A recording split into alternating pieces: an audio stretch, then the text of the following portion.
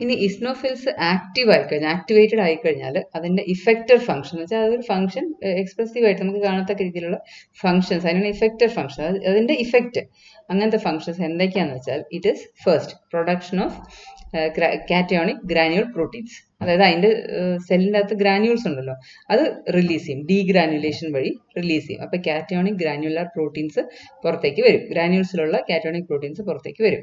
രണ്ടാമത് they produce reactive oxygen species reactive oxygen species നമ്മൾ ഇതിനു മുമ്പും പറഞ്ഞിട്ടുണ്ട്. ഏതെങ്കിലും ഒരു സംഗതിയെ കൊന്നു കളയുന്ന നശിപ്പിച്ച് കളയുന്ന കപ്പാസിറ്റി സാധനമാണ് റിയാക്റ്റീവ് ഓക്സിജൻ സ്പീഷീസ് എന്ന് പറയുന്നത്. നമ്മൾ ഈ എന്താ പറയുക അൺസാച്ചുറേറ്റഡ് ഫാറ്റി ആസിഡ്സ് ഉള്ള ഓയിൽ വീണ്ടും വീണ്ടും ചൂടാക്കരുതെന്ന് പറയുന്ന അവിടെ റിയാക്റ്റീവ് ഓക്സിജൻ സ്പീഷീസ് ജനറേറ്റ് ചെയ്ത് നമുക്ക് അസുഖങ്ങൾ ഉണ്ടാക്കുന്നുണ്ട്. അത് ഇവിടെ പറയേണ്ട കാര്യമില്ല. ഇതെന്ന് വെച്ചാൽ ഈ ഹിസ്റ്റോഫിൽസ് എന്ന് വെച്ചാൽ നമ്മളെ നമ്മുടെ ബോഡി കയറി പറ്റിയ മൈക്രോബ്സിനെ ടാക്കിൾ ചെയ്യാൻ വേണ്ടി ഇങ്ങനെ റിയാക്റ്റീവ് ഓക്സിജൻ സ്പീഷീസ് പ്രൊഡ്യൂസ് ചെയ്തിട്ട് ഇത് ഉപയോഗിച്ച് അതാ അത് ആ മൈക്രോബ്സിനെ നശിപ്പിച്ചു കളയും.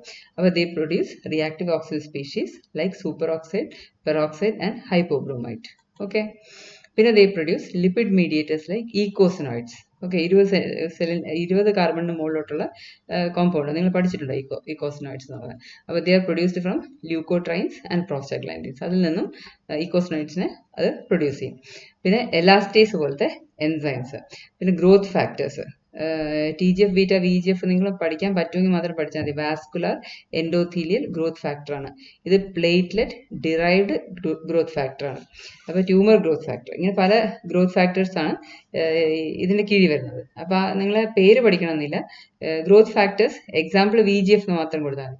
പിന്നെ cytokines interleukin one two four അങ്ങനെ പല ഇന്റർലൂക്കിൻസും ട്യൂമർ നെക്രോസിസ് ഫാക്ടർ ആൽഫ അത് ആ ഇൻഫ്ലമേറ്ററി റെസ്പോൺസിന്റെ ഭാഗമായിട്ട് വരുന്നതാണ്. അലർജി ആസ്മയ്ക്കൊക്കെ ഇൻഫ്ലമേറ്ററി റെസ്പോൺസ് അല്ലേ? അപ്പോൾ അതിന്റെ ഭാഗമായിട്ട് റിലീസ് ചെയ്യുന്ന മോളിക്യൂൾസ് ആണ് ഈ സൈറ്റോകൈൻസ് ഒക്കെ. അപ്പോൾ ഇത്തരം സാധനങ്ങൾ പ്രൊഡ്യൂസ് ചെയ്യുന്നതും ഈസ്നോഫിൽസിന്റെ ഫംഗ്ഷനാണ് അപ്പോൾ നമുക്ക് ഇന്നത്തേക്ക് ഇത്രയും കൊണ്ട് നിർത്താം. ഓക്കെ